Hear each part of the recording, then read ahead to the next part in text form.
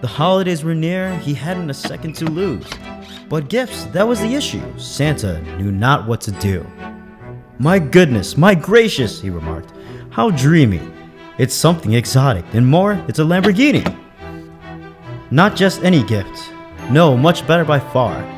Not clever socks, smart wrist clocks. The answer was a supercar.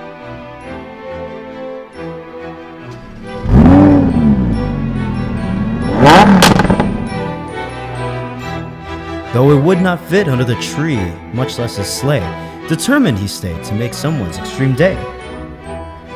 Eureka! A solution so profound, what convenience! Surely this was nothing but a stroke of genius. Why give something only to lose in the closet? Here was a gesture so grand yet fit in their pocket. It roared and reared, the sound was so pure. This was the gift. Of this he was sure.